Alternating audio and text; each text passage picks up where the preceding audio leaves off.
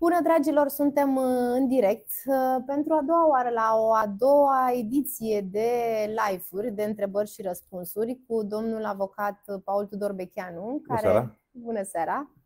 A venit uh, de la Brașov și are a avut o zi încărcată.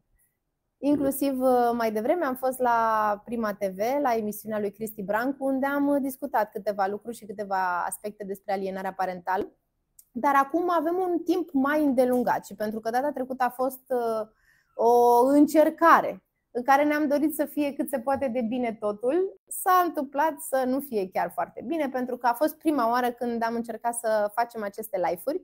Dar astăzi uh, zic eu că suntem pregătiți pentru că suntem aici în, uh, în studioul lui Andy de la Dance Planet, de la sală. Mhm. Ne-a ajutat cu locația. Pe mine m-a ajutat memoar cu vestimentația Tocmai am zis de Andy, da, a plecat, nu o să mai repet, pentru că o să vadă pe live că l-am, i-am lăudat studio și că ne lasă să filmăm aici, pentru că are un cadru foarte frumos. Uh, și noi suntem pregătiți de data asta și cu întrebările și cu răspunsurile. Voi trebuie să fiți pregătiți cu întrebările. Noi suntem pregătiți cu răspunsurile. Da, absolut. Da, trecut a fost foarte bună discuția pe care am avut-o.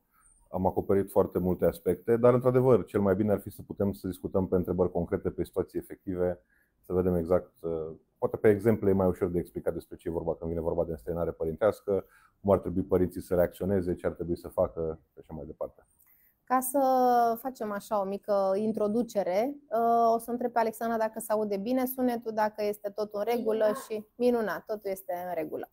Ca să vă fac o introducere despre ce discutăm în seara asta, este vorba despre o lege care s-a dat uh, și s-a revenit de fapt la această lege. O să ne mhm. spună domnul Tudor Becheanu mai multe lucruri despre această lege, legea 123 pe 2024 o lege care s-a rediscutat și mă bucur că pentru mulți dintre noi această lege o să fie un factor de uh, ajutor, să zic așa, în uh, procesele pe care le avem pe rol și nu numai. Uh, în cazul în care sunteți uh, în anumite situații, în care vă loviți de problemele pe care le-am discutat și noi data trecută mhm. și le vom discuta și astăzi, o să vă spună mai bine domnul Tudor Becheanu în ce constă această lege și pe cine ajută de fapt. Bun. Așadar, um, România este a doua țară din lume care reglementează ceea ce se numește înstrăinare părintească. Adică o situație în care unul dintre părinți, în mod intenționat, încearcă să distrugă relația copilului cu celălalt părinte, de obicei într-un cadru judiciar, într-un cadru de conflict judiciar, divorț sau alte lucruri de tipul acesta.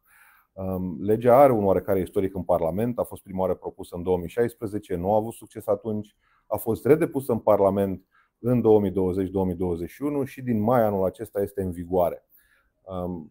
Um, Procesul legislativ a fost un extrem de complex, a stat legea în Parlament destul de mult, am discutat pe parcurs, au fost foarte multe ședințe la Comisia Juridică de la Senat la început acum câțiva ani, iar acum mai recent, în 2024, foarte multe ședințe la Comisia Juridică de la Camera Deputaților, unde a contat foarte mult ajutorul dat și sfaturile și părerile date uh, în primul rând de un grup de părinți numit Artemis, care a venit cu foarte multe idei bune. Proiectul inițial al cărui coautor sunt a fost, a fost uh, amendat în sensul că s-a extins area de reglementare, mai ales pe ceea ce înseamnă rolul protecției copilului în astfel de chestiuni. La momentul respectiv, doamna Laura Vicol, la momentul respectiv președinte al Comisiei Juridice iarăși a susținut foarte mult legea și ne-a ajutat. Și bineînțeles, domnul Gabriel Andronache, deputat PNL de Brașov, care a fost în esență inițiatorul și susținătorul esențial al acestui proiect de lege. Și într-adevăr, iată că din mai avem, acest, avem această reglementare. În esență, ceea ce s-a modificat este legea 272 pe 2004, este legea care stabilește cadrul general al, să zicem, protecției și drepturilor privitoare la minori. Și în cadrul acestei legi a intervenit această nouă reglementare din 2024, care introduce o definiție pentru ceea ce se numește acum înstrăinare părintească și care stabilește ce ar trebui să facă instanțele, ce ar trebui să facă protecția copilului atunci când există o astfel de situație. Evident, în vederea corectării acestor situații și, bineînțeles, prevenției acestor situații. Ce prevede legea? Legea pe zona asta de, de înstrăinare părintească, așa numită alienare parentală, asta era denumirea clasică în limbaj psihologic, în primul rând definește acest concept de înstrăinare părintească, există o definiție foarte clară în lege, stabilește felurile în care acest proces poate fi identificat de către instanțele judecătorii sau de către protecția copilului, adică fie în cadrul unui litigiu preexistent, fie în cadrul unui litigiu care are exact acest obiect, deci constatarea unei situații de înstrăinare părintească, De asemenea, sunt prevederi extinse pentru tot ce înseamnă protecția copilului și ce ar trebui să facă protecția copilului atunci când este sesizată de către unul dintre părinți cu o posibilă situație de înstrăinare părintească. În esență, atribuțiile protecției copilului sunt întărite pe zona asta um, și extinse într-o oarecare măsură. Și apoi legea are o zonă prin care sunt stabilite măsurile concrete, atât pe care protecția copilului, dar mai ales pe care instanța le poate stabili atunci când găsește o situație de înstrăinare părintească, încă măsuri menite să corecteze de la modificări privitoare la locuința copilului, la programul de relații personale, cât inclusiv uh, ceva ce se numesc măsuri asiguratorii, adică penalități financiare, amenzi, în limbaj da. comun, amenzi ca modalitate de constrângere pentru părintele care se face responsabil de o situație de înstrăinare părintească și, bineînțeles, consiliere psihologică dispusă de către instanță pentru, evident, remedierea relației dintre părintele țintă și copil.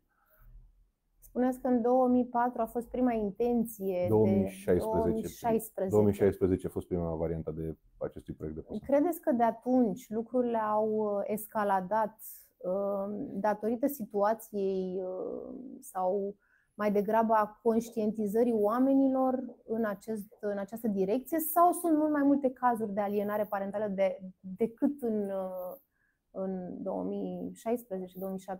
2016-2017? Noi am observat în practică fenomenul după 2011. În 2011 legislația de familie a suferit modificări importante, s-a trecut de la uh, vechiul cod al familiei, care era în vigoare în România din 1958, uh, S-a trecut wow. în 2011, a, practic reglementarea respectivă fusese foarte puțin modificată în toată perioada comunistă, a rămas aproape neschimbată și a rămas în vigoare până în 2011, când a intrat în vigoare actualul cod civil, care a înglobat și prevederile de familie pe lângă prevederile standardele unui cod civil. Înainte de 2011, situațiile de alienare parentală, ceea ce am numit astăzi situații de alienare parentală, erau extrem de rare. Legislația era de așa natură făcută, copiii erau tot timpul credințați către un singur părinte, deci asta însemna că părintele respectiv are toată puterea decizională asupra copilului și îl crește pe copil. În general mamei. În general mamei, iar părintele care nu era încredințat copilul păstra doar dreptul de a veghea la creșterea și educarea copilului. Și pe structura asta foarte rigidă, altfel, și da. nu foarte eficientă, să zicem, în multe situații, alienările practic oricum nu existau. Erau unii beneficiile de prevedere respective. Nu, nu exista situația în care unul dintre părinți, erau foarte rare situațiile în care unul dintre părinți se gândea ok, cum să fac eu în așa fel încât copilul meu să nu mai aibă nicio relație cu celălalt. Nu că nu se întâmplau deloc, dar erau extrem de rare. După 2011 și mai ales începând din 2013, am început în practică să vedem situații care începeau să se repete din punct de vedere al comportamentului actorilor implicați, amândoi părinții și copilul. Și din 2013-2014 am început să citim despre tot ceea ce înseamnă alienare parentală în literatură de specialitate psihologică. Am identificat din ce în ce mai des acest model de comportament, până în punctul în care în 2016, de unde, să zicem, înainte de 2012-2013, astfel de dos- încoate ceea ce numia astăzi alienare parentală, poate vorbeam despre un dosar pe an sau ceva de genul ăsta, aveam deja la nivelul anului 2015-2016 probabil câteva consultanțe în fiecare lună pe probleme care sunau exact pe acest model de comportament, ceea ce numim azalinare parentală. De asta atunci a fost propus acel prim proiect de lege, din motive pur politice nu a avansat în niciun fel.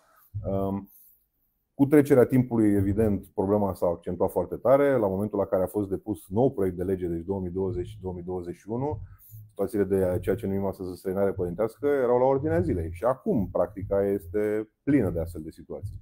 E nu, o... există, nu există o statistică efectivă. Nu pot să zic că foarte... e o evoluție, este un este bun, o, o dar pentru că mulți oameni înțeleg fenomenul, mm. ajung să se identifice cu unul dintre părinți sau de cele mai multe ori chiar și părinții părinților îi ajută sau prieteni, vezi că te mhm. confrunți mm-hmm. cu o situație de genul ăsta. Corect. De cele mai multe ori este important să vedem dacă am ajuns în situația asta, dacă ne confruntăm cu asta, apoi să remarcăm, să, să vedem ce se întâmplă, să conștientizăm fenomenul și apoi să ajungem să luăm decizii. Deciziile care pot fi în mai multe direcții, de la o evaluare psihologică, la un expert, un avocat care ne poate ajuta pe partea juridică de a găsi o soluție legală, pentru că până la urmă constrângerea celuilalt părinte, cum spuneați, poate fi în primul rând de natură financiară, tocmai pentru a da. putea ajunge la un consens până la urmă. Da. Constrângerea um, financiară e fundamental importantă, foarte eficientă în practică. În practică. Spuneați că suntem a doua țară din Europa. Din lume chiar. Din lume. Da, o reglementare pe alienare Înseamnă că parentală. mai prost în lume la capitolul ăsta sau de ce? Chestiunea cu alienarea parentală din punct de vedere psihologic deci nu ca și instituție juridică, strict din punct de vedere psihologic, este relativ controversată. Um, în literatura de specialitate psihologică există avocația ai acestui concept de alienare parentală sub diferite forme, sindrom, um, în fine, are mai multe denumiri. Deci sunt avocații acestei structuri și sunt detractori acestei structuri. Și uh, psihologi care consideră că o astfel de chestiune nu există. În esență că ceea ce se întâmplă în momentul separării părinților și pe fondul unui conflict judiciar este o loializare naturală a copilului cu unul dintre părinți. Um, e o discuție un pic mai complicată. În orice caz, ideea pe scurt este că în mediul psihologic e o mare controversă pe zona asta. Nu există un punct de vedere unitar, avem ceea ce se numește alienare parentală. Okay? Bun. Ceea ce am reglementat nu este acest concept psihologic. El a fost folosit acest concept psihologic în instanțele române înainte de intervenția acestei legislații destul de des. Dar tocmai pentru că era controversat și încă o dată controversat pe bună dreptate, adică nu e ca și cum detractorii sunt în eroare neapărat. Um, ceea ce noi am reglementat încă o dată este un model de comportament care este înrudit cu ideea de alinare parentală din zona psihologică, dar este un model de comportament pe care încă o dată l-am regăsit în practică de extrem, extrem, extrem de multe ori. Uh, mi se întâmplă des și oricărui avocat care lucrează pe zona asta îi se întâmplă cu siguranță uh, faptul că începe o consultanță cu unul dintre clienți și de undeva de pe la jumatea istorisirii poveștii clientului poate să-l oprească să anticipeze cu precizie maximă ce, ce urmează să spună deci, clientul, pentru că modelul e da. repetitiv, toată lumea se comportă cam la fel. Nu e nevoie să fii un bun psiholog sau un psiholog ca să detectezi asemenea comportament sau să-ți dai seama da. că părintele respectiv se confruntă cu o situație de genul ăsta. Da, e un model repetitiv. De aceea uh, s-a luat această decizie ca instanța să fie cea care decide. Da, este fundamental obligatoriu să existe un arbitru cât se poate de imparțial și nu există altă instituție, altă structură, bineînțeles, decât o instanță de judecată, cu bună și cu relele pe care această Pentru că un psiholog nu poate să ia o decizie din, din punctul ăsta de vedere și un, un psiholog nu poate să ia măsuri. Adică poate să sfătuiască să vină în continuare la ședințele de terapie sau să urmeze un curs normal al uh, în care ajută cumva părinții și copilul să se reintegreze. Corect. Dar pe de altă parte nu există o constrângere. Da, psihologii, Colegiul Psihologilor din România um, a dezvoltat o, să zicem, o practică internă și anumite reglementări interne pe ce înseamnă alienare parentală în sens psihologic. Dar, în opinia legiuitorului, mai ales pe această nouă legislație, cel mai important rol pentru psihologi este absolut fundamental. Deci, psihologii sunt fundamentali, dar acest rol al lor nu trebuie să fie în zona de identificare neapărat a unei situații de înstrăinare părintească sau alienare, ci trebuie să fie pe zona terapeutică. Da. Deci, odată ce o instanță constată o situație de înstrăinare părintească, evident că nu poți să ai doar măsuri de constrângere, să zicem, financiare la unei dintre părinți. Relația copilului cu părintele țintă trebuie refăcută. Iar asta aici rolul terapeutic al psihologilor, de consiliere psihologică, de terapie psihologică, da. este absolut fundamental. Legea prevede că atunci când se găsește, când se identifică, se constată o situație de înstrăinare părintească, consilierea psihologică a tuturor celor implicați este o măsură obligatorie pentru judecător. Și efectiv rolul terapeutic atunci este fundamental important. Întrebarea încă o dată pe, pentru legiuitor a fost dacă ar trebui psihologii să fie implicați și pe zona de identificare, deci pe zona de expertiză. Psihologii să răspundă la întrebarea avem sau nu o situație de alienare parentală. Și opțiunea legiuitorului a fost mai degrabă în direcția nu, este suficient ca un judecător să identifice pe baza definiției, pe baza unor elemente ale situației de fapt, că există această instituție juridică. Iar dacă totuși judecătorul consideră că trebuie să apeleze la opinia unui expert, pentru că există destule situații care, care apar și în practică foarte des, dar ți le poți imagina că sunt prea complexe, au o durată prea mare în timp, sunt prea mulți actori implicați, alienarea nu e, de, nu e determinată de un singur părinte, de exemplu, și părintele țintă poate se face responsabil de anumite comportamente. În orice caz, în aceste situații deci mai complexe, instanța este încurajată să apeleze la o expertiză de specialitate nu psihologică, ci medico-legal-psihiatrică se numește, realizată de către Institutul Național de Medicină Legală Mina Minovici. Soluția nici asta nu este perfectă. La dezbatere de la Camera Deputaților au fost multe discuții și pe zona asta, dar este cu siguranță cea mai bună dintre toate opțiunile posibile. Opțiunile fiind să nu faci expertize, să faci expertize cu psihologi sau să faci expertize la INML. Regiuitorul și la Comisia Juridică și în general și în plenul Parlamentului, când s-a votat legea, opinia în general a mers pe, s-a mers pe logica în care INML-ul ar trebui să fie, instanțele ar trebui să fie încurajate să meargă către INML. Nu e nicio obligație, instanțele pot în continuare să apeleze la psihologi individual, foarte bine, nu e nicio problemă, dar încurajarea este pe uh, aceste evaluări medico-legale făcute de INML. Pentru că suntem la început. Uh-huh. Suntem la început descoperim Super. foarte multe lucruri, zic eu. Cumva avem nevoie să cunoaștem toate datele problemei. Avem nevoie să știm uh, um, despre ce este vorba în lege și despre cum ne putem Mhm. ajuta noi, ca părinți sau pur și simplu pentru copiii noștri, pentru a beneficia de acest sprijin legal. Pentru că ajungem, știm prea bine care sunt pașii și o să-i mai explic puțin în situația în care se face un uh, consens, să zic, o înțelegere între cei doi părinți și nu se stabilește un program, cum a fost în situația mea, un program de vizită și cei doi părinți lasă la latitudinea copilului, între ghilimele, deși este total o greșeală să lași la latitudinea copilului să se um, s- la 10, 11, 15, chiar până în ajunge un adult la 18 ani să poată să ia decizii în, acest, uh, do- direcție, în această direcție, părinții sunt cei care trebuie să ia această decizie. Și atunci când se întâmplă ca cei doi uh, să se certe în mod frecvent pe această Mhm. temă, cumva copilul este cel care are de suferit. Și Sigur. uh, sunt anumite situații și vreau să rog pe Alexandra dacă cumva avem mesaje din partea celorlalți, că nici data trecută n-am avut și sunt sigură că sunt undeva ascunse. Nu sunt? Bine. De data asta le vedem, așa că dacă sunt oameni care se confruntă cu situații, așteptăm cu întrebări.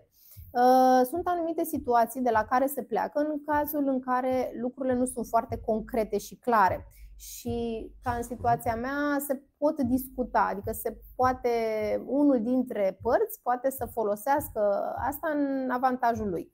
Sau sunt situații în care au fost destul de multe exemple în care pur și simplu unul dintre părinți nu a mai putut să acceseze programul cu copilul, deși s-a dat o sentință legală și am văzut că data trecută au fost foarte multe întrebări pe această temă. Mhm. Cum facem?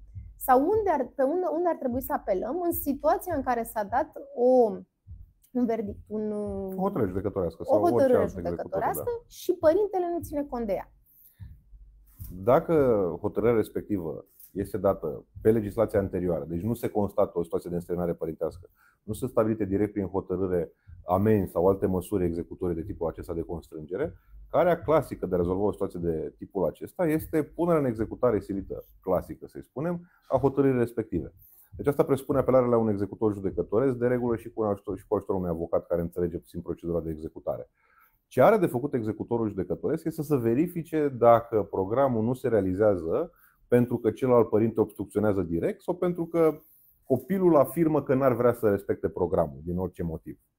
Dacă părintele obstrucționează, executorul are cale simplă, direct amenzi în, pe faza de executare silită și eventual și plângere penală pentru nerespectarea măsurilor privitoare la minor. Cât timp durează până se aplică aceste Asta este unul dintre dezavantajele procedurii clasice. Apelarea la executarea judec- la o astfel de procedură poate să dureze și luni de zile. Nu este o modalitate foarte eficientă din punct de vedere al timpului. Dar Mai este interesant. singura. Este singura dacă n-am o hotărâre pe care scrie instanța constată în strenare părintească. Poliția nu poate să facă nimic. Uh, Nu. Ce poate să facă, ce se poate întâmpla acum suplimentar este, încă o dată ziceam mai devreme, că uh, protecția copilului are atribuții suplimentare în ceea ce înseamnă monitorizarea programului de relații personale și oferirea unor servicii de consiliere. Deci, pe lângă executarea silită, uh, mai urma să spun acolo ce se întâmplă dacă copilul refuză, atunci se intră într-un program de consiliere efectiv a copilului la solicitarea executorului judecătoresc, pentru a se identifica exact motivele pentru care copilul refuză. Da. Dar, într-adevăr, procedura e de lungă durată. Dar, În paralel, protecția copilului are, pe noua legislație, care este în vigoare deja, are obligații, atunci când este sesizată cu o situație de tipul acesta, să monitorizeze programul de relații personale, să ofere consiliere părinților, dacă părinții refuză sau unul refuză consilierea, să suplinească acordul părintelui respectiv prin instanță, astfel încât să se realizeze consilierea, iar în cadrul consilierii se face o anchetă socială veritabilă, se face un interviu cu copilul și cu părinții, iar toate aceste lucruri se finalizează, se finalizează cu un raport. Raportul respectiv, el de, de sine stătător nu poate să rezolve pe termen imediat situația de înstrăinare părintească, de nerespectarea programului. Dar este un raport care va sta la baza în viitor, probabil, multor hotărâri judecătorești de constatarea unei situații de înstrăinare, de înstrăinare părintească, prin care, în esență, încoată instanța să ia măsuri concrete prin care părintele respectiv să fie constrâns. Considerați că o abordare a unei ordonanțe prezidențiale este mai la îndemână decât a merge în cazul în care, pe noua lege, se Mhm. poate, pentru că sunt cazuri în care oamenii au avut un proces pe rol înainte, să zic, Mhm. până anul ăsta. Și au o hotărâre de acum 2 ani, Și 3 au ani, o să zicem, hotărâre. da. Și nu se respectă. Unul dintre părinți, cel care e avariat, să zic Da. așa, Părintele, Uh, da. părintele, da, suferind, uh, poate să apeleze la o ordonanță prezidențială care are un termen mai scurt decât cel al unei uh, judecători, un obișnuit, dosar, da. da, cu poliție, cu uh, protecția copilului, cu toată nebunia, care poate să dureze undeva la 3, ani, 3 luni, spre deosebire de o ordonanță prezidențială atunci când se confruntă și cu o situație de alienare parentală. Credeți că este mai bine să ajungă în direcția asta, deși sună când zici ordonanță prezidențială, zici că e ceva foarte grav, Da, da, da. dar Ei, sunt măsuri mai rapide. Da, ținta trebuie să fie, deci dacă mă confrunt cu o situație de înstrăinare părintească, ținta încă o dată trebuie să fie cum să-l constrâng pe celălalt. Și constrângerea cea mai facilă este constrângerea financiară. Care e cea mai rapidă modalitate să ajung la constrângerea financiară? Una dintre modalități, într-adevăr, este stabilirea acestor amenzi prin intermediul unei hotărâri judecătorești, potențial prin intermediul unei ordonanțe prezidențiale. Pe noua legislație, aceste ordonanțe se soluționează în maxim 30 de zile. Deci poate fi un instrument pentru scopul final, repet, constrângerea prin instrumente financiare pe care pot să le solicit a fi stabilite printr-o ordonanță prezidențială. Okay? Aici discuția se poartă dacă instanța poate, pe ordonanță prezidențială, să constate efectiv o situație de înstrăinare părintească. Ca o paranteză, amenziile respective, penalitățile în esență, pot fi stabilite indiferent că există sau nu înstrăinare părintească constatată. Quantumul diferă. Adică dacă un judecător constată sigur înstrăinare, cuantumul este, cel, este maxim, este 20%, poate fi până la 20% pe zi de întârziere de nerespectarea măsurilor. Dacă nu, este la jumate. Oricum este mare, în or- în toate situațiile. Deci, în esență, logica este, sau ideea este, poate instanța pe ordonanță să constate înstrăinarea părintească, da sau nu? Asta este sub semnul întrebării, legea încă este nouă și jurisprudența încă nu e suficient de deci, în vastă pe zona asta.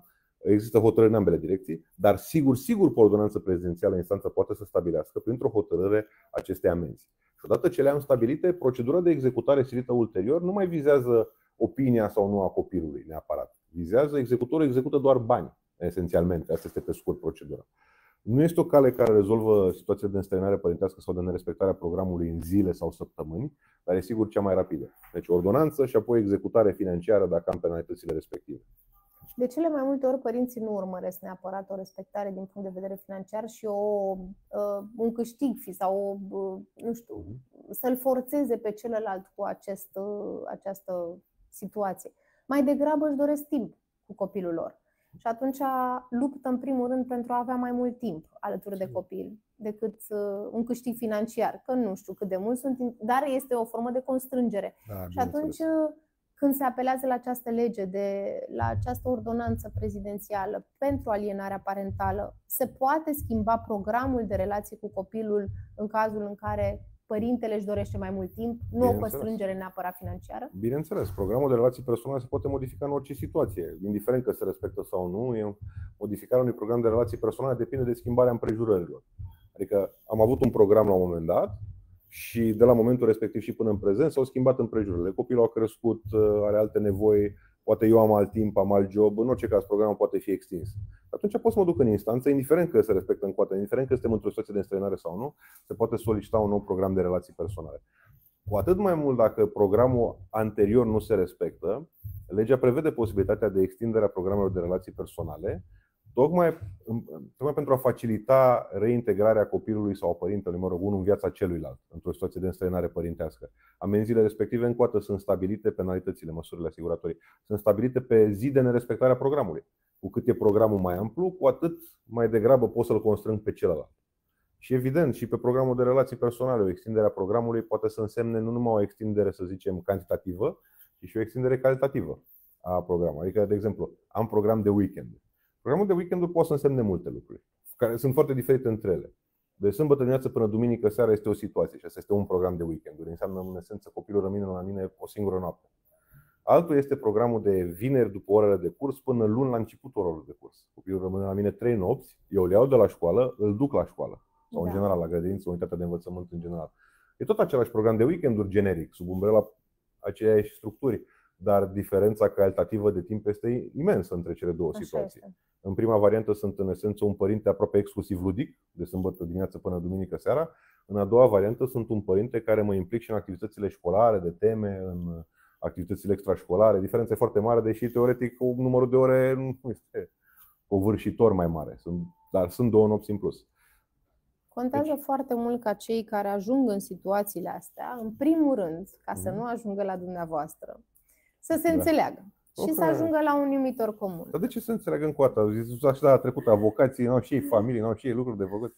Toată lumea se înțelege. Glumesc. Vine Crăciunul, vin Ah, sărbătorile da, de da. iarnă și cumva uh, cadrul de familie ar trebui să se păstreze astfel încât uh, copilul până la urmă să nu fie afectat atât de mult de problemele astea pe care le au foștii parteneri de cuplu și cel mai recomandarea mea ar fi ca toți cei care ajung în situația asta să poată să ajungă la un numitor comun. În situațiile în care ajungeți să, să nu vă mai găsiți o soluție pentru problemele pe care le aveți, uh-huh. să apelați la un avocat care vă poate sfătui din punct de vedere obiectiv. Pentru că noi privim problema din interior și considerăm că noi suntem cei care avem cele mai mari probleme din lumea asta și cumva nu mai există nimeni ca noi, nu mai există altă situație asemănătoare, dar sunt milioane de situații care au cumva același uh, mhm. tip de manifestare. Sigur. Și atunci nu facem decât să ne documentăm, pentru că pe net putem să găsim o grămadă de informații, dar uh, pașii nu pot fi decât cu ajutorul unui avocat. Sunt și oameni care poate au încercat singuri, dar sunt niște lucruri de care nu ai timp să te ocupi, pentru că trăim într-o perioadă în care fiecare încearcă să și lucreze, să muncească, să le asigure copiilor un trai decent și, pe de altă parte, să, să poată să-și câștige mai mult timp cu copiii. Până la mhm. urmă, vorbim foarte mult de acest timp, care e da. important. Alexandra, avem întrebări de la, nu știu, avem prietenii noștri de la Artemis, că vorbesc de, sunt și eu pe grupul lor și uh, sunt... Data trecută au fost foarte multe întrebări care au fost verificate de-abia după aia, am putea să începem cu acelea. Putem să vorbim de întrebările pe care le-am avut uh, la primul nostru episod, da, să care zic au rămas așa. ascunse. Da, uh, știu că marea majoritate a întrebărilor erau legate de Um, diverse situații, dar vrea, ca să nu vorbesc eu aiurea, uh-huh.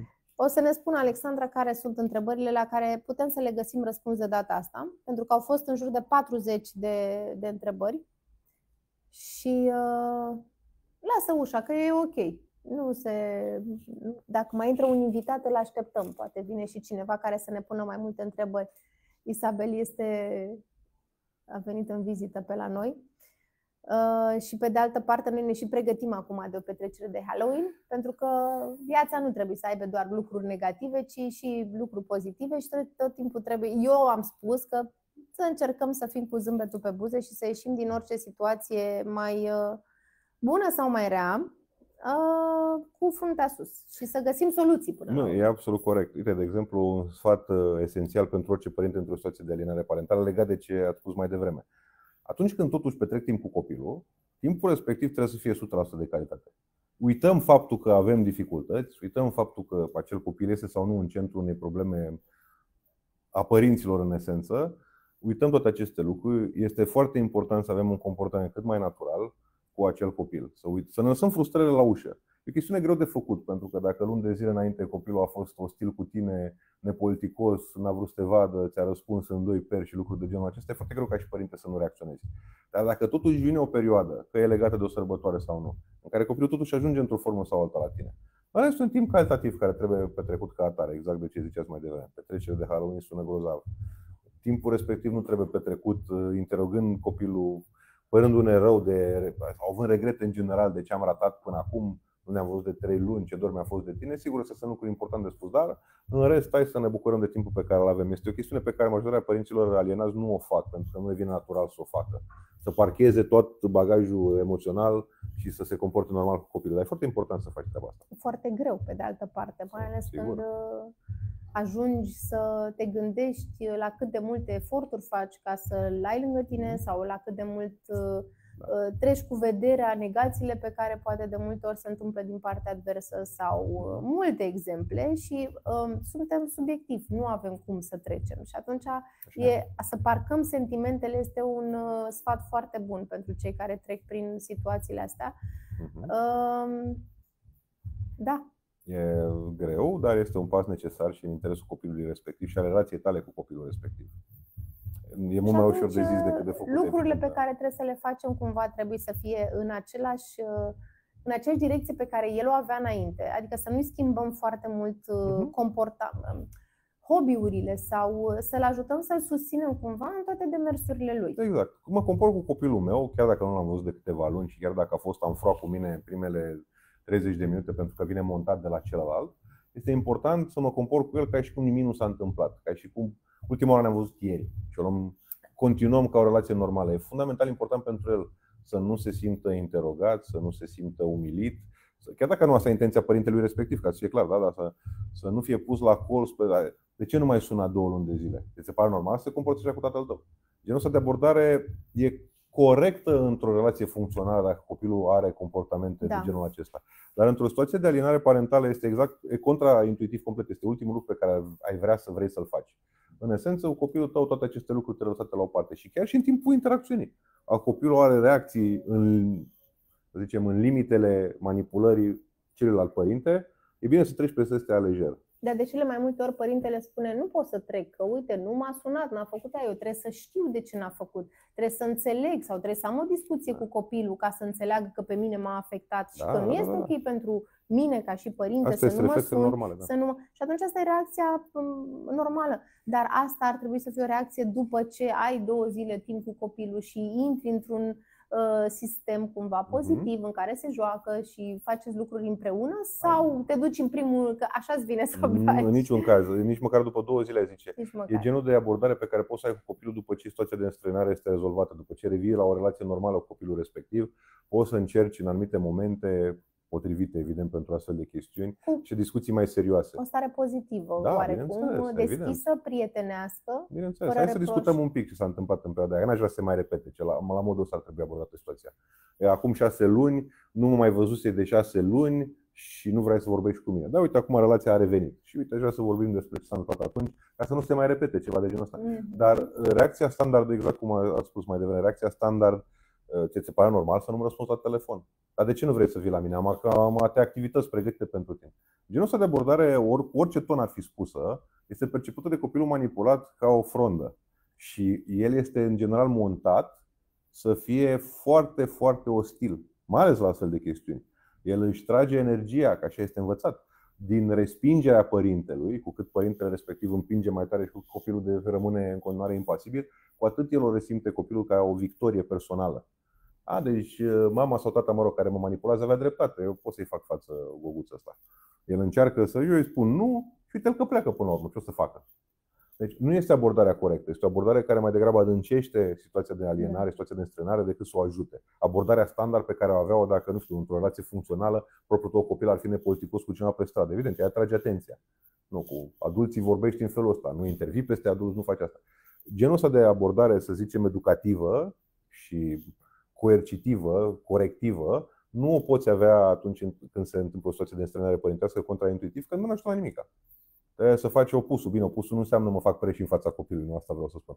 Dar în sensul în care discuția trebuie ghidată pe lucruri care sunt plăcute pentru amândoi. Da? Hai să facem o activitate împreună, te iubesc, mi-a fost dor de tine, hai să ne distrăm, facem petrecere de Halloween, copilul e îmbufnat, nu e îmbufnat, eu văd că e îmbufnat, el vine manipulat, vine montat. Asta e, nu, e ca și cum nu există. Mă mm. comport normal. Mă, ți se pare normal la cât efort am depus aici să facem toți dovlecii ăștia, tu să stai aici îmbuvnat, ursuz? Deci nu poți să faci lucruri de genul ăsta, nu ajută la nimic. Trebuie să le iei lejer. Încă o dată, nici nu înseamnă orice vrea copilul, da să trăiți, dragul meu copil, numai pentru că vreau să-ți cumpăr afecțiunea. Deci trebuie să există o, o limită. Dar, în general, pe zona asta, încerc să mă compor copilul cât mai natural, ca și cum de ieri nu ne-am mai văzut. Ca și cum lucrezi perfect normale. Ceva de genul ăsta. Ca să nu resimtă.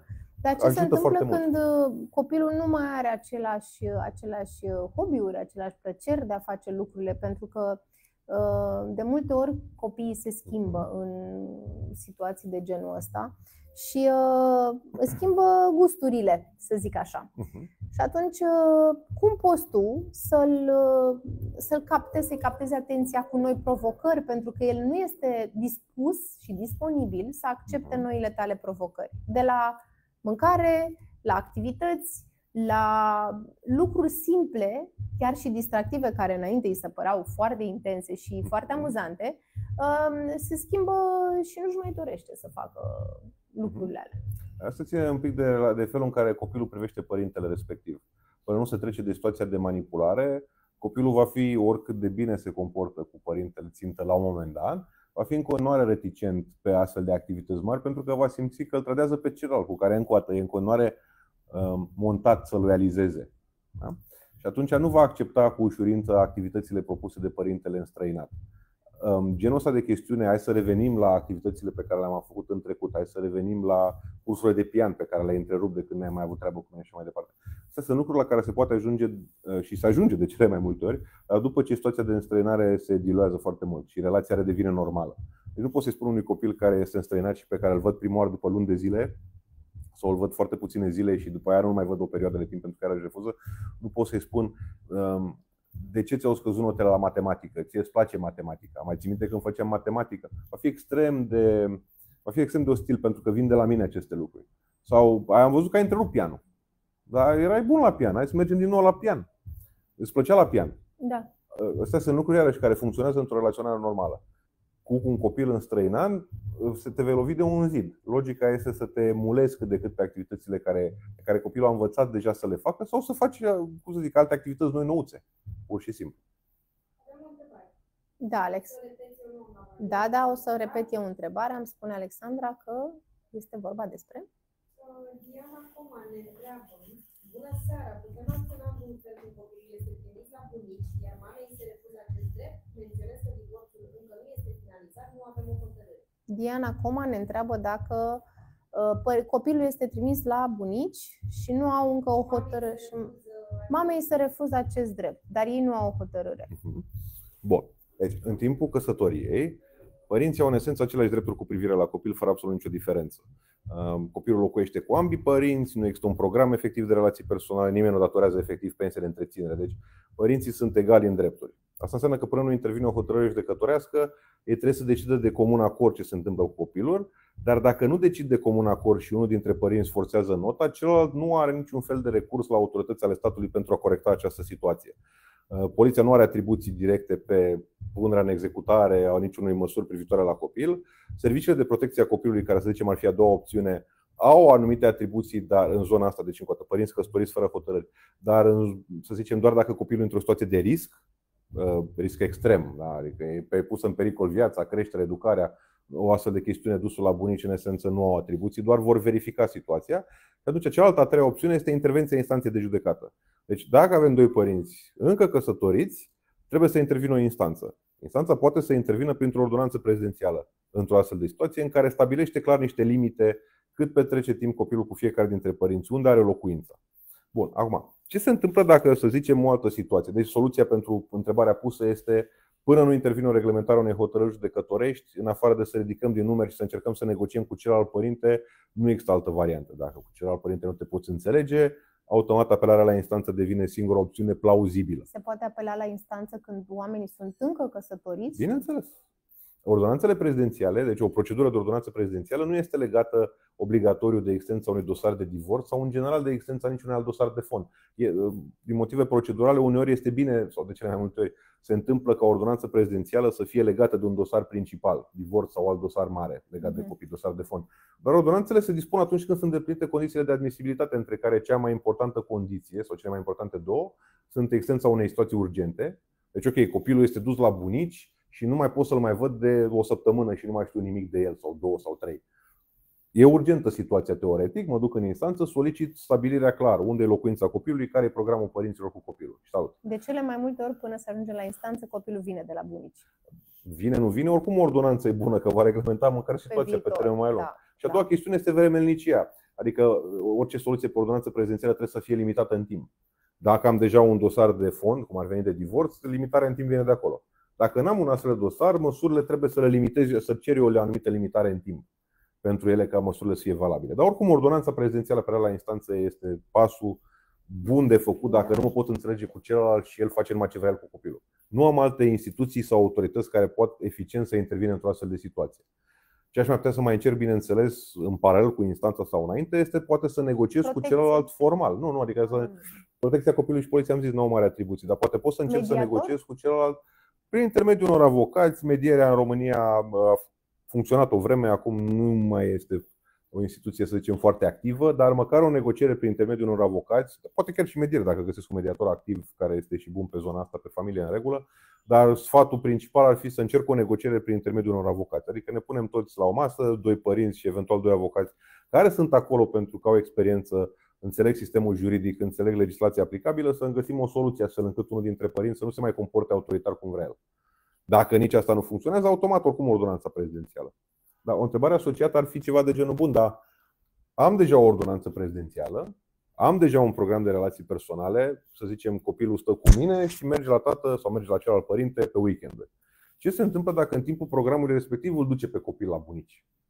Adică ar fi o întrebare asociată. Prima oară am crezut că la asta se va referi și întrebarea. Adică pleacă cu copilul fără să ai fie în orele de program ale. Și chiar și în orele de program nu se îngrijește el de program. Se întâmplă destul de des. Deci, un părinte care beneficiază de program, în timpul programului nu stă el cu copilul. Îl lasă pe copil în grijă altora. De exemplu, bunicii. Ce trebuie înțeles este că programul de relații personale pentru părintele la care copilul locuiește este obligatoriu.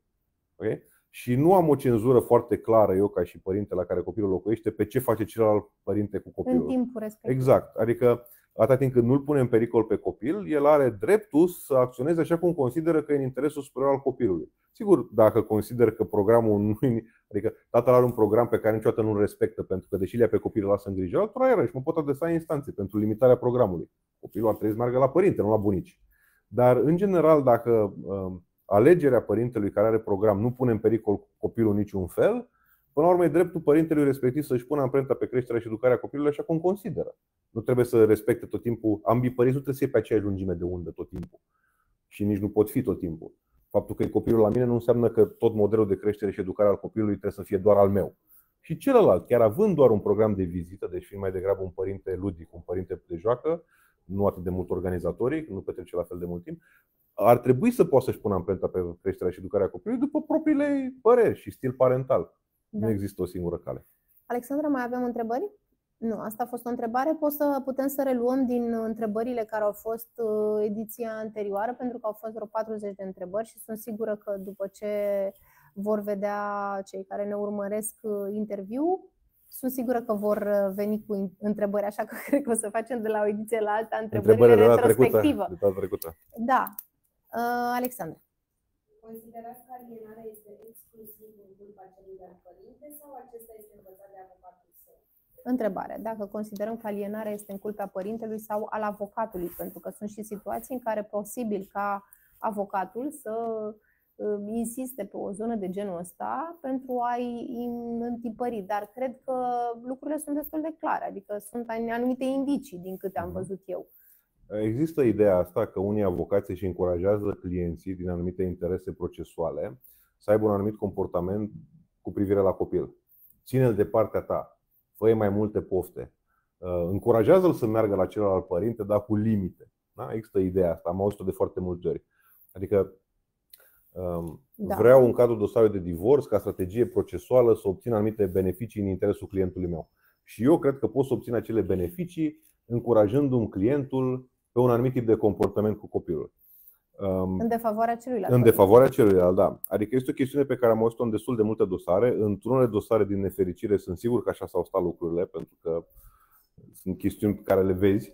Am avut chiar recent un dosar de instanță unde încă o dată, nu încerc să sugerez rea credință neapărat din partea niciunui avocat sau niciunei părți care e implicată într-o situație de tipul acesta, pentru că da, nu poți să citești mintea nimănui. încearcă să țină cu clientul da, lui, în, în primul, principiu. Sigur, dar în primul rând pentru că nu poți să citești mintea nimănui. Eu nu știu dacă un avocat procedează la o anumită strategie sau face un anumit gest din motive valide sau nu, nu este deloc în căderea mea să analizez treaba asta și în niciun caz nu aș miza pe ideea că avocații, să zicem, se comportă în vreun fel neprincipial. Am văzut și filmul Pacul Diavolului.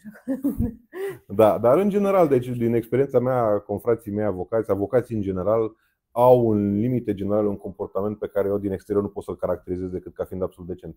Dar în principiu, inclusiv încă o dată, într-un dosar recent, unul dintre avocații unei părți adverse a menționat faptul că a discutat direct cu copilul implicat în dosarul respectiv de mai multe ori, încurajând copilul să meargă la părintele său care se consideră înstrăinat.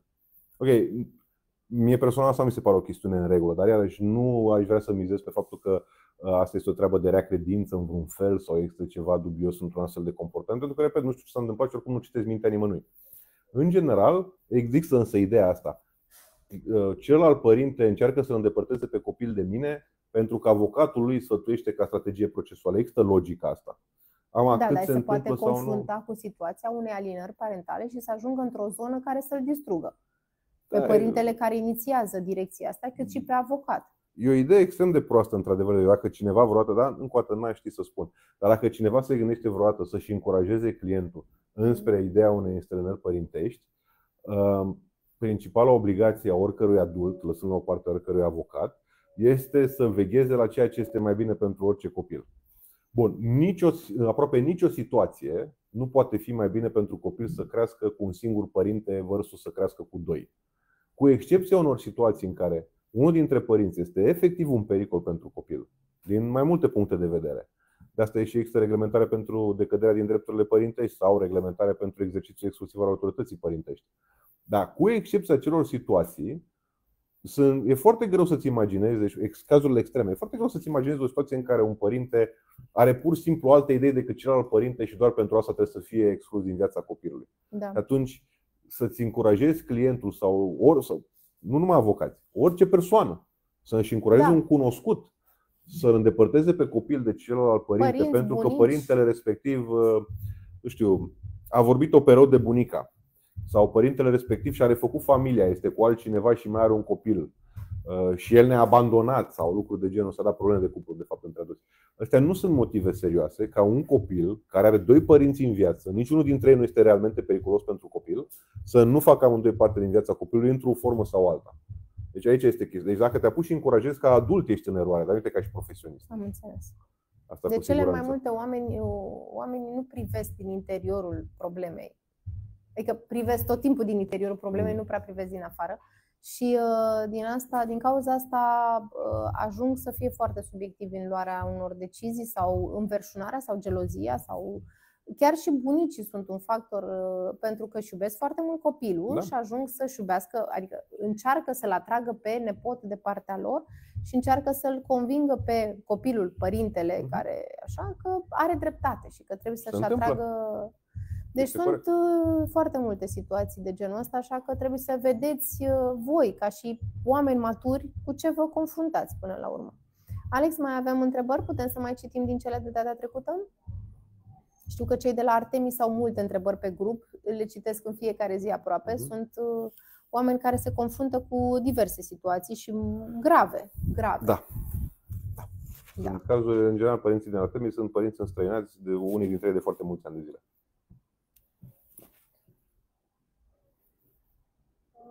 De ce am o hotărâre dacă nu o pot pune în aplicare din cauza refuzului copilului?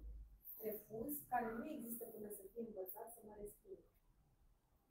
Deci refuz care s-a dobândit pe parcursul despărțirii celor doi. Din partea cui este întrebarea? Dreptate pentru copil. Dreptate pentru da, copil. Adică degeaba am o logica este degeaba am o hotărâre judecătoare dar acum nu putem pune în executare. Am discutat subiectul ăsta mai devreme. Da. Se poate pune în executare și acum, indiferent că refuzul copilului este afirmat sau nu, uh, doar că pe încă o dată pe o executare silită pe o hotărâre judecătorească unde nu se menționează înstrăinare părintească și niciuna dintre măsurile din noua lege, executarea este într-adevăr extrem de anevoioasă. Vorbim, și uneori eșuează. Vorbim de cele mai multe ori de un refuz uh, la modul dramatic, în care copilul se pune mhm. pe jos, începe să plângă. Am văzut uh, niște filmulețe pe net despre oh, da, uh, copii care pur și simplu nu vor să meargă cu celălalt. Ce poate să facă autoritatea? Ce poate să facă o o, orice cadru legal pentru a impune copilului să meargă. Copilul nu, poate, copilul nu se poate impune. Problema e să-l convingi pe părintele care generează comportamentul copilului, deci părintele care alienează, pe el trebuie să-l determini, să își schimbe comportamentul la adresa copilului și în loc să-l uh, încurajeze să facă crize de tantrum de genul ăsta, să dea cu fundul de pământ pentru că, vezi, doamne, celălalt părinte vrea să-l vadă, să-l încurajeze în direcția opusă, dar nu să-l încurajeze afirmativ, așa verbal. Nu vrei să te duci la celălalt părinte? Nu! A, atunci nu, asta nu vrea copilul. Deci nu la modul ăsta. La modul serios. Foarte mulți părinți alienatori se acoperă, se, se apără, se ascund în spatele ideii uh, eu îl încurajez pe copil să meargă la celălalt părinte, dar copilul nu vrea, n-am ce să fac. Bun, uneori chiar așa se întâmplă. Adică copilul poate să aibă motive reale să nu vrea să meargă, atunci poți să-l încurajez până mâine. Adică să existe un abuz real, dar de cele mai multe ori o astfel de frază, eu îl încurajez pe copil, dar dacă nu vrea să meargă, n-am ce să fac, când auzi o astfel de frază, trebuie să ai îndoiala sau suspiciunea că ceva se întâmplă acolo. Și trebuie verificat în concret. Dar deci asta e ideea. Dacă copilul se pune pe jos și urlă și așa mai departe, nu copilul trebuie manipulat constrâns, cel care îl controlează pe copil trebuie manipulat constrâns. Ce se întâmplă când nu se întâmplă deloc lucrul ăsta? Să dau un exemplu, se, mhm. duc părin- se duce unul din părinți în cel care are program, să-l ia pe copil de la școală și apare și celălalt părinte, cumva uh, să-l, să-l susțină să plece la părintele care are program, dar totuși nu îi se permite, nu îi lasă, cumva uh, îl forțează emoțional pe părin- copilul care trebuie să ajungă la, la părinte că hai că nu o să fie așa greu, o să treci și peste asta, Da, o e să chestie comună, da. Îl îmbărbătează îl cumva. îmbărbătează. Cumva și pări... copilul începe să sufere, să plângă, că nu vreau tati nu mă lăsa sau mami nu m-a, nu m-a abandonat pentru că eu te iubesc pe tine, nu vreau să merg în partea cealaltă pentru că... Da, nu vreau să dorm fără tine nicio noapte. Da, da, da, da. Explozie dacă Ce se întâmplă. poate face în situația asta? În primul rând, eu cred, din punctul meu de vedere, că atunci când să se ajunge aici, părintele care nu are program cu el să-l lase, să-l, să-i dea spațiu pentru a avea timp cu celălalt părinte. Fundamental obligatoriu, evident. În al doilea rând, când nu se întâmplă lucrul ăsta și totuși să trezesc amândoi acolo, dar celălalt este îmbărbătat, Mhm. rezistă, fără așa, ce se poate întâmpla? Ce se, cum se poate soluționa problema asta? Că asta era una dintre întrebări. Cum pot eu să fac când copilul nu vrea de niciun fel? Uh, Apelez la un avocat care poate să-i Clar. trimită un uh, mesaj, să zic, uh, părintelui, să-i spună, știi, e programul meu de vizită, atunci trebuie să mă Se- lași. uh, Bineînțeles, se pot trimite notificări, se pot trimite prin avocat, se pot trimite prin executor judecătoresc, notificări pur și simplu. Prietene, ai o hotărâre, respect-o sau dacă nu încep să fie probleme legale. Dar încă o dată, punctul final trebuie să fie un document care să-l constrângă realmente pe celălalt. Um, Nu e necesar tot timpul, ca o paranteză aici, nu e necesar tot timpul să ajungă la constrângere financiară. Da? Sunt situații în care pur și simplu presiunea pusă de către celălalt părinte prin intermediul unor dosare de instanță sau prin intermediul unui avocat, adică notificări, solicitări de negociere, da? e vorba de chestiuni perfect valide și legale, dar nu mă refer la altceva, să fie suficientă pentru a-l încuraja, să zicem, determina pe părintele care înstrăinează să-și altereze comportamentul.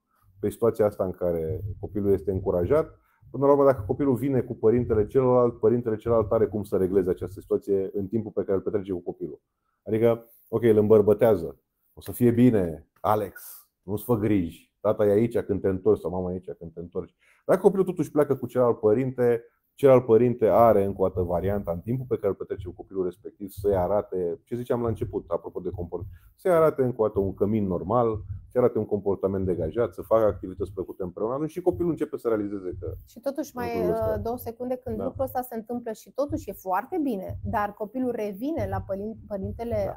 alienator Mhm. Și începe să toarne lucrurile care Da. s-au întâmplat acasă. Normal. Uh, Totuși, din uh, acele trei zile în care m-am simțit extraordinar, uh, mama n-a spălat vasele, mama nu m-a dus nu știu unde, m-am, sim- am zis că mă doare în gât și nu mi-a dat pastilă. decât după două ore. Totuși a plecat, m-a părăsit, m-a abandonat, două ore s-a dus Da, da. În, uh, la servici sau nu știu ce. Și atunci se întâmplă ca copilul să vină cu tot felul de Mhm. uh, situații în care se poate întâmpla, dar să le exagereze astfel încât să-l Mhm. um, ajute pe părintele alienator să-și construiască o, un palat mai mare în jurul Da, lui. un știi? atac mai puternic un la atac adresa mai celuilalt. puternic, exact. Da. Atâta timp cât programul se menține, e doar o chestiune de răbdare și de tact din partea părintelui țintă, din partea părintelui înstrăinat. Dacă programul se menține, acest comportament al copilor de regulă se diluează în timp.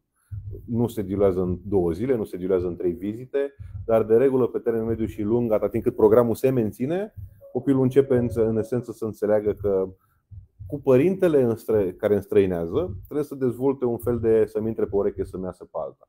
Adică eu clar mă simt bine și la celălalt, vreau să mă simt bine și la tine, tu văd că tot timpul încep să înțeleg că mă învrăjbești împotriva celuilalt în gol și până la urmă te iubesc, dar nu mă mai interesează subiectul Sau ăsta. există situația pe care am vorbit-o și astăzi la Prima TV, la emisiunea Mhm. lui Cristi Brancu, în care copilul se trece cumva de ambele părți Da, și și devine începe un să- mic da. Iuda, să zic așa, îi tratează, îi tratează pe amândoi sau îi uh, cumva găsește formula în care să fie lui bine. Absolut. Și ajunge la în direcția asta. m- Da, E se corect, poate așa se întâmpla. întâmplă, da. Da, Alexandru. Diana Coman, Diana Coman are, a revenit. ce dovezi putem duce în instanță ca părinte pentru a demara procesul de dovedire a alienării? Bun. Deci Ce ce dovezi? dovezi ducem în instanță ca să arătăm că este un proces de alienare sau cum putem să ne dăm seama că suntem într-un proces de alienare. Ok. În primul rând trebuie să ne dăm seama noi Mhm. și apoi să vorbim cu un avocat. Și cred că s-a vorbit destul de mult pe tema asta ca să ne dăm seama uh, de la ce... Într-adevăr se întâmplă asta, da. Exact. Da, deci strict pe o chestiune de probe în instanță. Sunt două lucruri de spus. Deci, ce înseamnă probă în instanță înseamnă în general orice fel de înscris. Înscris înseamnă orice fel de chestiune care se poate pune pe un spor de hârtie. Și asta înseamnă orice fel de act. De la certificatul de naștere este un înscris până la orice fel de adeverință cu privire la, nu știu, faptul că acel copil înstrăinat fiind nu mai merge la cursurile școlare. Da? Deci asta Mesaje înseamnă un text. înscris. Tot. WhatsApp. Al doilea tip de probă care se administrează în instanță e proba cu martor. Deci asta înseamnă persoane care în dosare de familie pot fi și rude, care participă în instanță și care relatează judecătorului ceea ce au constatat. Relația copilului cu părintele X era foarte bună, după care s-a stricat brusc și copilul nu mai vrea să mai aibă nicio relație. Da, ceva de genul ăsta. Martori, oricine care relatează o situație de fapt. De asemenea, în instanțe sunt perfect admisibile în cele mai multe situații probele cu mijloace materiale de probă, deci asta înseamnă poze, înregistrări audio, înregistrări audio-video. Astea sunt în general probe perfect admisibile în instanțele române, cu mici limite. Deci asta înseamnă că dacă vreau să probez faptul că copilul mă respinge, asta pot să o fac fie printr-un martor, care a văzut că acel copil este respins, fie pot să vin cu o înregistrare în care copilul mă respinge. Asta fiind criteriul al înstrăinării părintești. Um, Deci astea sunt probele în general cu care pot să vin în instanță. Care ar trebui să fie ținta acestor probe îndeplinirea definiției înstrăinării părintești. Deci o situație intenționată, creată de unul dintre părinți, conform căreia copilul începe să, începe să manifeste reținere sau ostilitate, în mod nejustificat sau disproporțional la adresa celuilalt părinte. E definiția din lege. Deci eu trebuie să arăt aceste lucruri. Copilul a devenit ostil sau mă respinge în orice formă. Acest comportament nu are nicio legătură cu mine. Eu n-am făcut nimic în privința asta, dar nu l-am bătut, nu l-am flămânzit, nu am făcut nimic ca, și ca să se producă acest efect. Și celălalt criteriu pe care trebuie să-l arăt, comportamentul, aceste două chestiuni sunt generate de comportamentul celuilalt, de intenția celuilalt părinte de a se întâmpla aceste două lucruri. Ce trebuie spus este că ultimul criteriu, intenția părintelui care înstrăinează, în general e o chestiune care se derivă din îndeplinirea celor două criterii anterioare. Deci dacă am un copil care nu mai vrea să mai aibă nicio relație cu mine, iar eu nu sunt responsabil de niciun comportament suboptim suficient la adresa copilului, e clar că de undeva vine acest comportament. Atunci încep să elimin cauze. Eu nu sunt cauza, care ar putea să fie alta cauza? Cineva induce aceste chestiuni. Deci al treilea criteriu este un criteriu la care se ajunge, um, să zicem, prin inducție, adică să ajunge pe cale logică. Asta e Și logică, cum asta e eu sensul cred legii. că este cazul doamnei Coman, ține mai mult de timpul pe care îl are cu copilul, pentru că este dus în altă parte decât Mhm. uh, a sta cu ea acasă sau cu dânsa, a petrece mai mult timp uh, și probabil uh, părintele consideră că e mai important să-și petreacă timp cu bunicii. Da. E, Întrebarea spune simplu. Înainte aveam o relație bună cu copilul meu, dintr-o dată copilul a fost dus în altă parte și nu vrea să mai aibă treabă cu mine. Păi Asta, din, Da. asta e deja situația de înstrăinare părintească, 75% sunteți deja acolo. Adică nu e. Cătălin Radu Cătălin Radu întreabă, întreabă. ce presupune un proces în care se poate dovedi alienarea parentală? Plângerile pe- penale ori sesizările către DG, ASPC rămân fără soluție. Este un comentariu. Da, e, Presupune un proces. Ce presupune un proces? Am discutat mai devreme. Presupune arătarea în fața unui judecător faptului că, faptului că aceste condiții ale definiției sunt îndeplinite. Faptul că pe parcursul timpului am apelat la protecția copilului, chiar dacă fără succes. Faptul că am făcut plângeri penale, chiar fără succes, astea sunt lucruri care în general ajută în materie probatorie, dacă procesul de străinare e suficient de lung. Înțeleg dacă um, domnul care a pus întrebarea vorbește deja de plângeri penale nesoluționate, de de plângeri la protecția copilului nesoluționate, probabil e o străinare deja care durează de foarte multă vreme. De cele mai multe ori și eu am fost sfătuită să merg în primul rând la protecția cop- copilului, protecția. E un sfat bun în principiu, Dar, dar nu de sine sătător. da, uh, am renunțat să merg acolo pentru că mi s-a părut că am nevoie de ceva mai sus, de ceva mai solid, de o hotărâre clară, că până la urmă fiecare încearcă să ajute Hmm. și psihologi, și terapeuți, și protecția copilului, dar dacă nu este o, o, o sentință clară dată pe o, un Mhm. caz, nu, nu se poate ajunge la o soluționare până la urmă. Și atunci, cum am și zis, e vorba de o constrângere, e vorba de anumit uh, timp dat Mhm. uh, din punct de vedere legal părintelui și uh, la asta se ajunge în ultimă instanță. Pentru că multă lume nu știe cum și în ce direcție să o ia în momentul când ești jos la pământ și nu mai știi pe unde să o iei. Și vorbești cu prieteni, vorbești cu familia, vorbești cu oameni care crezi că te pot ajuta. Dar nimeni nu cred că o știe mai bine decât uh, un avocat care te poate sfătui și o consiliere până la urmă, că ai nevoie de o oră, de două ore. Ce înseamnă această consiliere? Să vezi dacă într-adevăr te poți, te, con- te, a- ești în situația respectivă și dacă poți să găsești soluții. Sigur. Alexandra, mai avem uh, întrebări? Nu. Uh, De data trecută mai avem. Am depășit deja, am ajuns la ora pe care am promis-o. Am promis o oră pentru cei care ne urmăresc și uh, e al doilea episod. Nu știu câți dintre voi sunteți acolo și sunteți alături de noi sau și voi vă confruntați cu uh, situații de genul ăsta. Eu mă bucur enorm că l-am avut alături de noi pe domnul uh, Paul Tudor Becheanu care uh, ne poate sfătui și Mulțumesc. ne-a sfătuit cu niște, cu niște lucruri pe care chiar putem să le luăm în considerare atunci când ajungem în astfel de situații. Sper eu din ce în ce mai puține, pentru că în 2017 erau puține, adică puține și Când am scris, când am scris legea și când în sfârșit a trecut de Parlament, exact asta discutăm cu cei de acolo de la Artemis și eu sper că asta în câțiva ani să fie o lege care nu se mai aplică, pentru că nu mai are sens să se mai aplice.